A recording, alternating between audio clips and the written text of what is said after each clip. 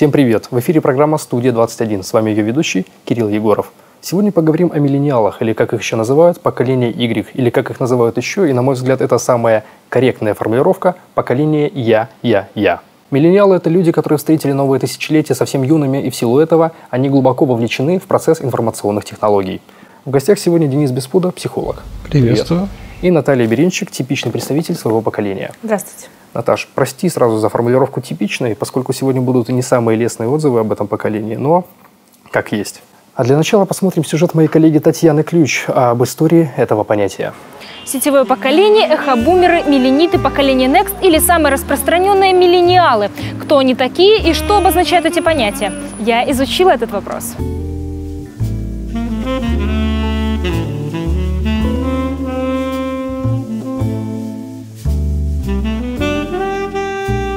Понятию миллениалы относят целое поколение людей, рожденных во временной промежуток с 1980 по 2000 годы, которые отличаются от предыдущих поколений целым рядом качеств. Во-первых, глобальное мышление. Благодаря развитию сначала сотовой связи, а затем интернета, мир стал более единым, а новости о событиях в разных точках земного шара публикуются очень оперативно. Во-вторых, глубокий цинизм. Ученые считают, что поколение Next более цинично и лицемерно, нежели предыдущее. Третья особенность – низкая религиозность. Исследования, проведенные в 2006 году в США, показали, что 48% ахабумеров – верующие, 20% – атеисты, 32% – агностики.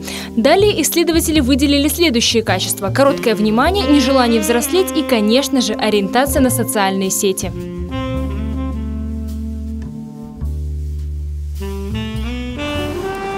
перспективе ученые считают, что миллениалы станут чаще менять места работы, быстрее обучаться новым гаджетам, а стеснительные люди станут более раскрепощенными. Ну что ж, посмотрим, сбудутся ли их прогнозы. Как видим, у этого поколения есть будущее. Тем не менее, есть и свои проблемы. Вот сейчас процитирую. С поколением 2000-х довольно сложно ладить старшим поколением. Их обвиняют в том, что, во-первых, они привилегированные, нарциссичные, эгоистичные, несфокусированные и ленивые. Наташа, в чем-то узнаешь себя или нет? Да, узнаю в какой-то степени ленивые, потому что порой всегда хочется полежать на диване, отдохнуть, ничего не делать, но ты понимаешь, что тебе надо развиваться, идти вперед и ну, не быть типичным подростком, да, и хочется добиваться каких-то целей, которые ты ставишь перед собой, и смотришь на окружающих, и хочется не быть похожими на них. Ну, каждом проявить себя, да? Да, проявить ну, себя вот ты такой, судя по всему, образцовый миллениал, таких бы всех. Вот ты сказала отличаться от окружающих. От окружающих кого? Твоих ровесников или просто просто? Э, да, окружающих моих ровесников, моих э, одногруппников. Ну, я учусь с ними, и смотря на них, они отучились и приходят в общежитие домой, просто сидят. А мне это не интересно. Мне хочется пойти куда-то, еще чем-то заниматься. Да? да. Денис, привилегированное, вот такое слово прозвучало первым, наверное, не зря. В чем привилегия? Ну смотри, это надо смотреть издалека. Привилегированность изначально идет из детства. Если родители наши, да, миллениалов, а, старались как-то выжить, скорее, в свое время, было сложно, то нас они хотели от этого, понятное дело, оградить. Стремясь нас оградить, они нас немножко избаловали. Ну, кого-то большей степени, кого-то в меньшей. Затем ребенок идет в школу, а там тоже система такая, что нету проигравших кубки за то, что пришел там до финиша хотя бы просто добежал. Как и в спорте, наверное, как да? в спорте, как Это в учебе. поощрительные награды. Угу. В итоге получается у ребенка комната завешена ну, грамотно, ну, предположим. Потом ребенок отучивается в университете, там система похожа, и затем он попадает на работу. А вот на работе он уже сталкивается с реальностью, когда просто так не поощряют, поощряют по факту. Вот одну секунду, давай не будем пока о работе.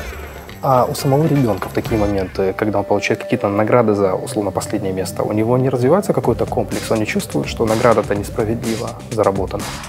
Я думаю, скорее развивается инфантильность. В любом случае я эту награду получу. Потому можно не стараться. В это идет в дальнейшем, возникает проблема у него. Достижение каких-то своих целей успехов и прочего. И вот ты сказал, впоследствии эти какие-то проблемы проецируются на его работу сказываются на его уровне работы, да? Конечно. А каким образом? Ты ведь не можешь прийти на работу и сказать, мне все здесь должны. Я буду у вас работать, вот возьмите меня, я. Тем не менее, работодатели замечают то, что, приходя на работу, такой миллениал зачастую считает, что он очень востребованный кандидат. Хотя заслуг у него как таковых, ну, может и не быть. В силу этого с ними сложнее работать. Ну вот у нас есть Наталья. Наташа, ты работала где-то? Я учусь и работала по специальности художественным руководителем. Я столкнулась с тем, то, что э, учась, где-то участвуя в каких-то конкурсах, тех же городских, ты завоевываешь какие-то места, приходя на работу, это не особо учитывается, потому что ты уже являешься полным сотрудником, да, ты работаешь, и ты должен выполнять все свои обязанности, и тебе нет никаких поблажек, неважно, ты студент, ты подросток. То есть твои предыдущие регалии тут никого не интересуют, Да, то есть ты должен себя уже на работе показать, что ты стоишь, да? Насколько мне известно, многие миллениалы хотят иметь работу со смыслом. Это так? Да, я бы сказал, что так. Ну, в принципе, можно опрашивать, да, на улице, как бы вам что интересно. Хочется работу со смыслом, чтобы работа приносила удовольствие, чтобы на работу ходить как хобби заниматься, да, чем-то таким просто получать от этого удовольствие еще и заработную плату. Вот, ну, мы все трое, простите, перебиваю, мы все примерно одного возраста, я так понимаю, да, то есть мы все миллениалы. Угу. А, я узнаю себя в этом, пока узнаю. Наташа, ты? Да, я узнаю, и я понимаю, что в основном все подростки, они хотят просто заработать много денег, да. Мне сейчас хочется развиваться, неважно, сколько я сейчас заработаю, важно то, какой опыт я сейчас получу, чтобы я его применила потом. Это интересная характеристика по поводу того, э, зарплаты миллениалам действительно порой важнее иметь работу интересную, неважно, невзирая на заработную плату. Деньги порой не становятся приоритетом. Интересно, однако у тебя, ты сказала, две работы. Одна работа у тебя не по специальности, как понимаю? Да, сейчас летом, ну, временно я подрабатываю официантом. В то же время я наблюдаю за людьми, смотрю, как они себя ведут, и очень порой смешно, которые подростки моего поколения, да, они насмотрелись, наверное, каких-то сериалов, приходят и строят себе неизвестно кого, то есть пытаются там... Вот по этому поводу многие работодатели обеспокоены тем, что молодежь не приходит с заранее завышенными требованиями к своему рабочему месту. Да, я сталкивалась даже вот со, со своими коллегами, так сказать, да, то есть они хотят, то есть мы, мы должны получить много, да, то есть я пришел, значит, меня должны все слушать, меня должны уважать. Прежде чем тебя должны уважать, ты должен себя показать в какой степени на что ты способен, ну и завоевать уважение к себе. Так получается еще, что в наше время еще остается та работа, ну, просто которую нужно делать. Она не творческая, да, к сожалению. Она там, возможно, не такая интересная, но ее делать кому-то все же надо. А такой работой заниматься сейчас никто не хочет. И приди миллениал на такую работу, отучившись, ну, он разочаровывается. Ну вот смотри, разочарование, из него вытекает что? Молодой человек, выполняя работу, которая ему не нравится, он работает плохо? Не сказать, что плохо, он работает обычно. Грубо говоря, на отвали. Да, конечно. Отработал, пошел домой. Многие работодатели говорят следующее. Поколение Y, это вот миллениалы mm. есть, трудно управлять. Это все из-за эго какого-то раздутого? Не только из-за эго. Так уж получилось, что в силу разбалованности, ну, некоторой такой, и вот этой свободы, которую хочется, получивши свободу, не знаю, что с ней делать. Не можешь на себя взять ответственность. Мы все стремимся к какой-то самостоятельности, как я понимаю, да, и в работе тоже. Однако, сталкиваясь с этим, мы обращаемся за помощью к начальнику, кому-то, да. Угу. Как это получается? Какие-то двойные стандарты?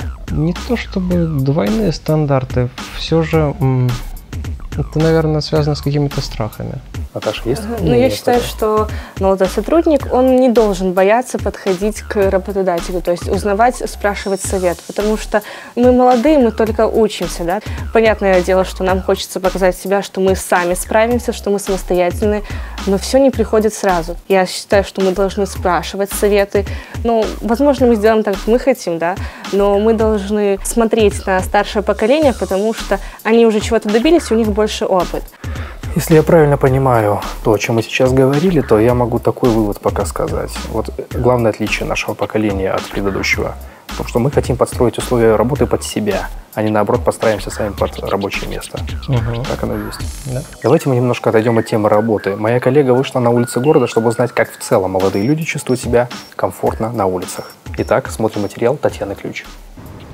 Одежда, татуировки, яркий цвет волос. Одним словом, молодежный бунт против серой массы. Однако не все готовы самовыражаться. Причиной тому – боязнь быть непонятыми.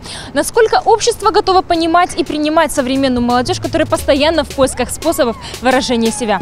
Давайте это выясним.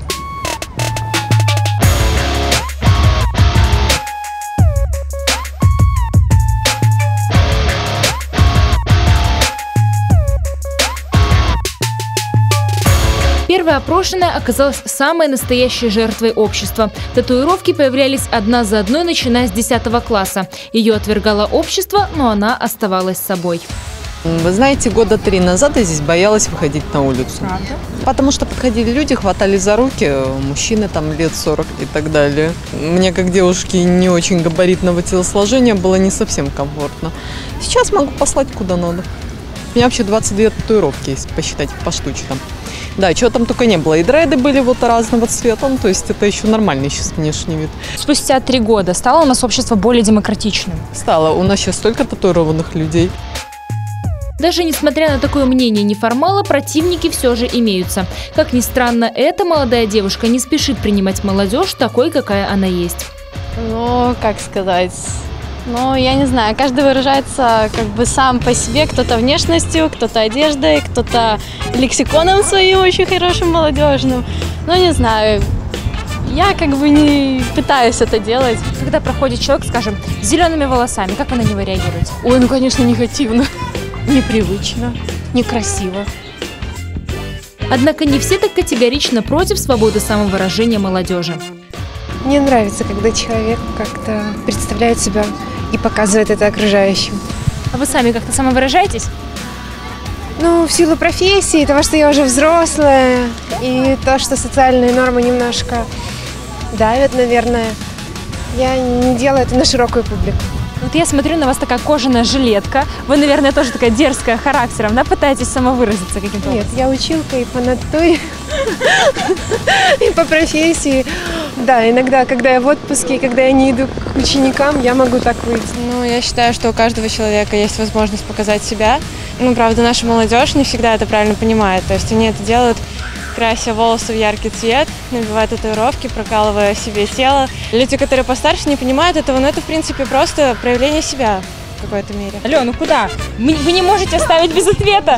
Ребята, ребята, ребята, вы не можете нас оставить. Это очень важно. Ну, ну что ж такое-то? Скромные, очень скромные неформалы. Вы ведь никак себя не Каждый проявляете. человек своеобразен по-своему. У вас тоже браслет своеобразный, не для серой массы. Кто-то боится выделяться из толпы и подстраиваться под общепринятые нормы, а кто-то готов закрыть глаза на общественное мнение. Я вижу, у вас тоже свой собственный стиль есть. Как вы относитесь к самовыражению? Вот как к вам общество относится? Я не знаю, я не очень зависима от мнения общества. То есть, если мне что нравится, я это ношу, я это делаю, и, в принципе, вот и все. Ну, просто стараюсь э, лучше одеваться, быть как все. Не выделяться так, как в общем смысле. Быть уникумом это... ну, В наше время это, не знаю, как-то не очень. Почему? Это потому что вот люди не так смотрят, кто-то, может быть, Ну подойдет, да, скажет. могут посмотреть э, не так, принять не за того. Ну, вот у вас сегодня такие зеленые яркие штаны. Мне кажется, они привлекают внимание прохожих. Как на вас смотрят? Ну, так идут. Когда я прохожу мимо, так поворачиваются, и все, максимум. Сейчас на нас все поворачиваются и смотрят. Да. Думаете, с чем это связано? С чем это связано? Потому что здесь камера. Как вы относитесь к ребятам, допустим, у которых татуировок много, которые как-то по-другому проявляют себя? Татуировки это, Это нормально, а вот, Толерантно. а вот когда волосы белые, это уже не то чуть-чуть. Да какая тебе разница, чувак? Ай! Мне не нравится это. Тебе не нравится. Ну, ты же не придешь к человеку в открытую и не скажешь ему это. Я знаю. Ну, толерант. Ты толерантен. Да. Как видим, брещане в большинстве своем очень даже положительно относятся к разного рода проявлениям внутреннего я нашей современной молодежи. Так что не бойтесь самовыражаться.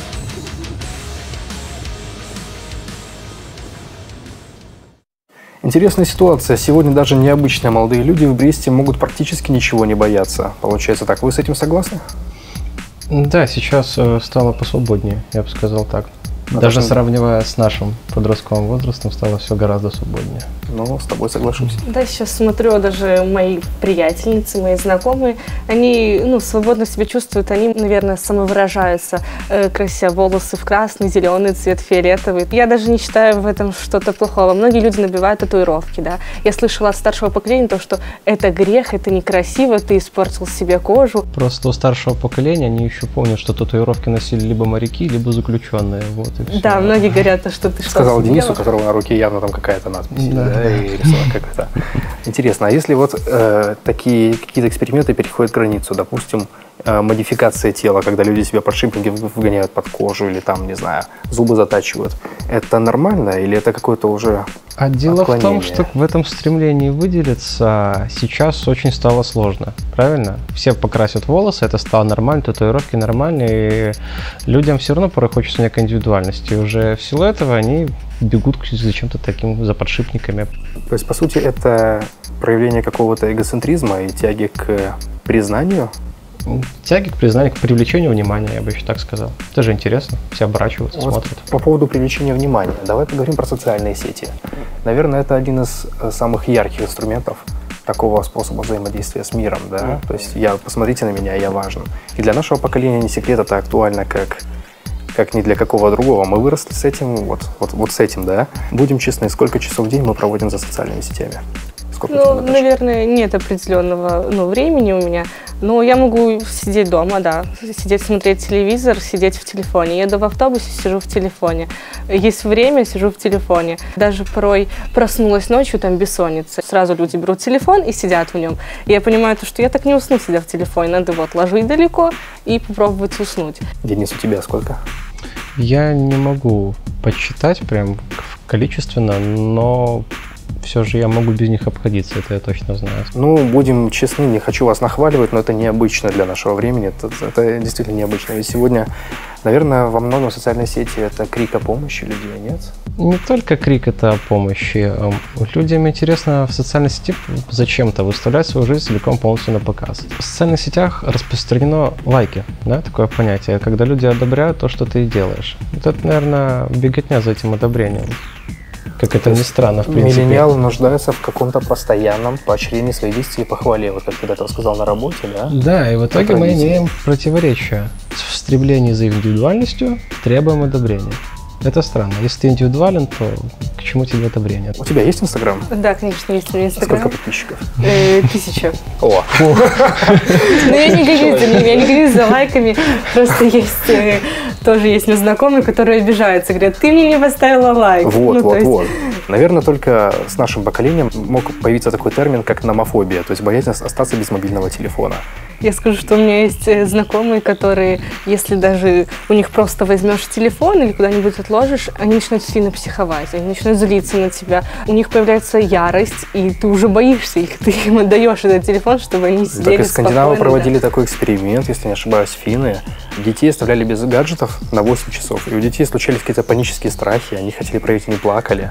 И это, в принципе, что происходит, Денис? Вот как психолог оцени. Видимо, без этого уже никак. Тут дело в том, что ну, не гаджеты, да, в этом виноваты. Все же в интернете есть много очень полезной информации, нужной. Можно научиться, можно что-то Однако в узнать. запросах у нашего поколения в основном что? Порно-сайты, социальные, какие-то сети, ну, будем честны, и какие-то, может быть, видео шуточные или обзоры на фильмы, да? Ну, самые популярные запросы на Ютубе. Вот я подписан, Ну, например, я просто не считаю это виной интернета. Нет, Это- само это, собой. это вина пользователей и того, что им нравится. Мы когда говорили о лайках, тут нужно вспомнить гормональную систему, дофамин, да, гормон, Да-да-да. доставляющий нам Удовольствие. удовольствие.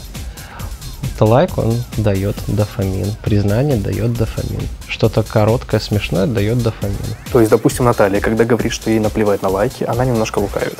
Ей приятно их получать, Нет, приятно ну- видеть запрос в друзья, да? Конечно, приятно видеть то, что люди оценивают твою фотографию, но нету такого, вот мне не поставили лайк, я обиделась. Но тем не менее, надо же сказать, когда ты выставляешь фотографию, ты же все-таки, ну, ждешь чего-то. Э, Ну да, я жду, конечно. да, Ты же ее поставила не у себя на полочке, а Да. кому-то выложила в свободный Ну да, доступ в сеть интернет, да. Но я согласна то, что многие люди выкладывают просто каждый свой шаг.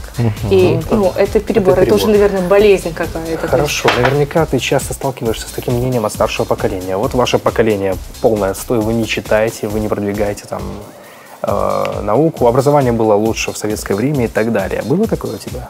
Конечно, было, да, даже когда ты, ты сидишь в телефоне. Ну, бывает то, что ты в телефоне книгу читаешь. У старшего поколения не было этого, и они не знают, да. Во все времена, наверное, ругали предыдущее поколение, да, точнее следующее.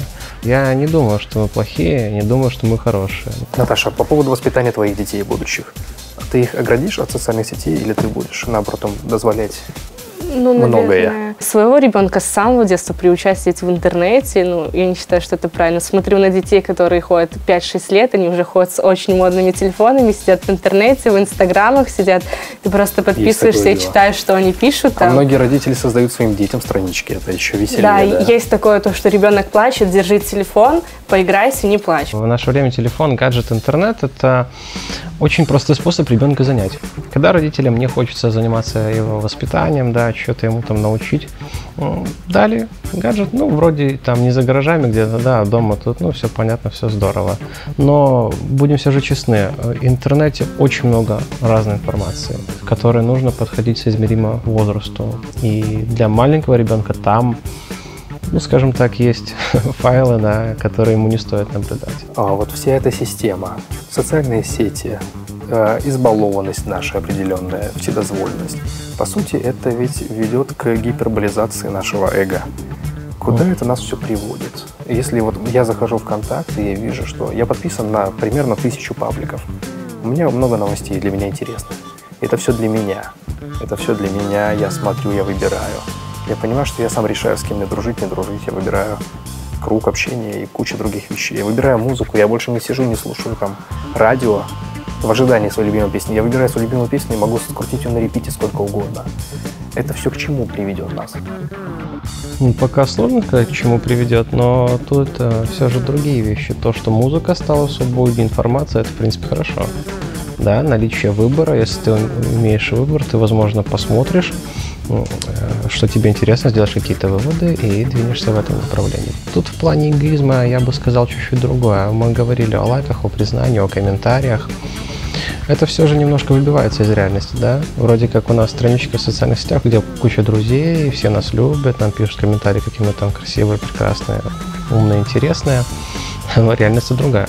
Выходя там на улицу, вступая в какой-то новый коллектив, тут ты не какой-то. Вот именно. Выходя из социальной сети, ты сам становишься другим.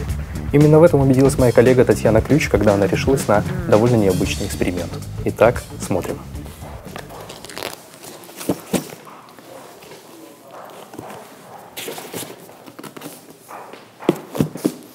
Я решила проверить, насколько отзывчиво современное поколение. Для этого мне понадобится тяжелая сумка и многолюдная улица. Будем надеяться, что кто-нибудь мне все-таки поможет дотащить непосильную для девушки ношу.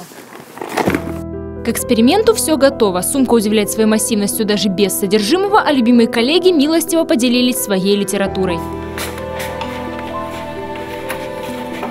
Потом вернешься на место. Теперь самое время приступить к эксперименту. Очень интересно, как я ее буду тащить.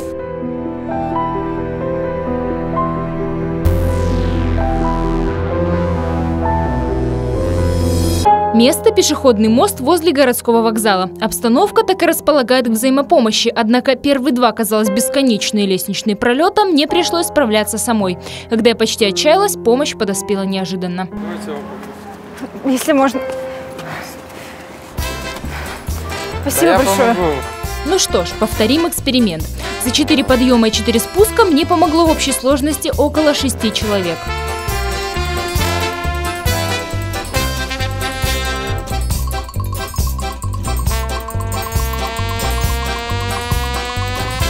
Количество неравнодушных не может не радовать, но, быть может, тут просто место волшебное. Теперь отправимся на Советскую и посмотрим, как обстоит дело с добротой на главной пешеходной улице Бреста. Даже несмотря на повышенный интерес к моей персоне, прохожие здесь помогать сильно не торопятся, а я уже с трудом тащу сумку. Когда мои силы были на исходе, помощники все же нашлись, пусть их было и немного. Спасибо большое. О, давайте. Спасибо большое. Не-не-не.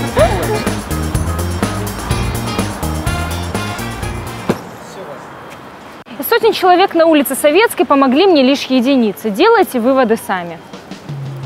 Не совсем приятная ситуация, местами даже стыдно за молодых людей. Наташа, бывала в такой ситуации, когда не Да, помогают? бывало и не раз, потому что я и учусь в другом городе, то есть я все время езжу с сумкой тяжелой. Бывает, что на тебе 3-4 сумки, ты вот так на себя вешаешь, ты еле идешь. Ну, с поезда тебе помогут спуститься, дальше нет. Если помогают, то это, ну, А рядом такая вот фигня, люди. с мобильники вот так вот, да? Да, или они посмотрят, да, бывает, э, услышишь насмешки какие-то, да. А если помогают, то помогают люди, ну, Ну, старше. вот Татьяне помогали преимущественно старшие люди, да? Странно. Денис, с чем это связано? Мы просто уверены, что мир вокруг нас вертится, и все. Я бы не сказал, что это прям проблема поколения, скорее проблема воспитания. Дело в том, что я неоднократно слышал, когда женщины как раз-таки постарше точно так же жаловались на то, что мужчины им постарше тоже не помогают. Тут еще может быть момент стеснения. Благодаря тому, что мы много времени посвящаем социальным сетям, общаемся там, мы в реальной жизни разучиваемся контактировать и общаться. Ну да, вот, Наташа, такой вопрос к тебе. Знакомиться подходят молодые люди на улице? Э, Подходят, да, но это не часто. То есть, мне кажется, даже порой... Вконтакте чаще, да? Разумеется, да, потому что там нет стеснения. Ты написал, да, ты еще тебе ответили, ты еще можешь посидеть и подумать, что тебе ответить. А когда ты общаешься сразу же, ну, то есть, видно твои эмоции, да, видно все. И в основном в жизни, мне кажется, даже когда люди порой хотят познакомиться, они, ну, стесняются. И, знаете, там бывает такое, фотографируют себя или просто пишут там в группах, да, ищу девушку, вот она А. шла с большими сумками, так-то одета была, да, только так тебе Да? находят. То есть проще прийти домой, напечатать два слова с зубами нечищенными. Там, эй, девушка понравилась, я там это самое. Интересно. Денис, ты сказал, несколько есть причин вот этому. Какая еще, кроме воспитания? Общество движется к равенству, да? То есть признать то, что там э, девушка слабее, не каждая девушка уже на это, в принципе, соглашается. Почему-то я слабее. Однако сила женщины в ее слабости – это аксиома, по-моему, нет? Ну, я бы с тобой многие не согласятся. Я тоже так считаю, но... По поводу миллениалов сказали довольно интересную фразу. Первое поколение, у которых нет героев, но есть кумиры. Вот как психолог поясни. Хм. Наверное, попробуем, конечно, пояснить, порассуждать с советского времени. Были герои Великой Отечественной, на которых равнялись, да, потом были какие-нибудь герои труда, потом же были там герои-шестидесятники, да, съехавшие там за границу какие-нибудь поэты, писатели. В наше же время поколение мы Y стремимся к свободе, к индивидуальности, и мы, видимо, уже нам не нужен именно образ героя, нам нужен кумир, чтобы на кого-то равняться. А кумир, он уже бывает разный. Это может быть как корпоративный начальник-босс для некоторых, так и отшельник, который уехал жить в дебри, рок-музыкант, не знаю. Герой – это собирательный образ, да? Герой, что ли, нерушимый, да? Он вот такой, какой есть, положительный. А кумирами же могут быть так называемые антигерои, да, для кого-то. Вот сейчас, наверное, время как раз-то антигероев. Ведь многие персонажи сегодня, которые находятся на вершине финансовой, да, и на вершине успеха, популярности, они, по сути, творят какие-то странные вещи. Тот же музыкант Аксель Роуз из Guns N' Roses, который бьет женщин, принимает наркотики и дебоширит стабильно, да, или актер Панин, да, условно. У него есть поклонники, как это ни странно. Его, ему предлагают роли. Наташа, вот есть у тебя какие-то примеры антигероев, которые сегодня являются кумирами твоих? Я даже не скажу, что я на кого-то, на какого-то кумира равняюсь, да. Скорее всего, я равняюсь на людей, которые э, старше меня, которые ну, чего-то добились в жизни действительно своим трудом. Ну, Вот хорошо, ты живешь, э, ты учишься где? В Пинске. В Пинске. А ты живешь где? В общаге или? В общежитии, да, живу в У тебя общежитии. есть э, соседки? Да. У них наверняка плакаты какие-то висят. У них висят свои фотографии, А. селфи свои. Вот то, о чем мы говорили до этого, да? Да, у них висят свои селфи, только селфи. А, Денис, а в чем все-таки причина популярности антигероев? В том, что плохим быть проще или просто это притягательнее? Нет, мы говорили о стыдливости, да, э, о боязни. Антигерой делает как раз-таки, что хочет. Он тот самый идеал свободы, который... Мне нравится, слушай, мне пока вот это интересно. Да. Да, он идеал свободы, вроде как, который вроде как каждый из нас стремится, но боится Ну, какие-то моральные догмы. ее получить, да, и, и его сдерживает. А антигерой не боится. Вот и все. Попросим вас немного пованговать. Какие прогнозы касательно миллениалов могли бы сделать сегодня? Наташа, куда мы идем? Ну, Скоро своих детей воспитывать, подумай. Да, но я считаю, то, что мы не очень плохие, как многие старшее поколение говорят, то, что мы плохие, потому что мы сидим в телефонах. Ну, кто-то действительно просто сидит в телефоне, потому что он зависим, а кто-то э, что-то узнает оттуда полезное, да, то есть и ну, как-то развивается. И я считаю, что, да, своих будущих детей не надо, то есть вот сразу ты плачешь, держи телефон, отдохни, да, а, ну, учить как-то правильно его направлять куда-то. Интересно. Денис? Куда мы идем? Честно, сложно прям так точно ответить на этот вопрос. И мы просто идем к чему-то, а это уже видно будет со временем. А что касается нас, я согласен, что мы неплохие, мы, не знаю, не хорошие. Мы вот мы те, кто мы есть. Так ну, закономерно было. Это хорошо, это довольно общие фразы, простите меня, но вот а если все-таки подумать, какими мы будем, мы будем вообще техногенно зависимые, получается. Чипы будут в головах стоять, мы будем смотреть клипы прям вот не в Google шлеме, а просто перед глазами. Я считаю, что это уже перебор. Это перебор, да? Ну, ведь к этому идет или, или нет? А, с точки зрения психологии, люди все более зависимы от техники. Ну, техника очень просто плотно вошла в нашу жизнь. Это уже как, как, как данность. Без нее мы уже себя не мыслим. Тут даже нельзя сказать, хорошо это или плохо. Если цивилизация будет продолжать существовать в нашем виде, это ну, обычно. Вот если она рухнет, да, условно говоря, тогда, конечно, будут проблемы.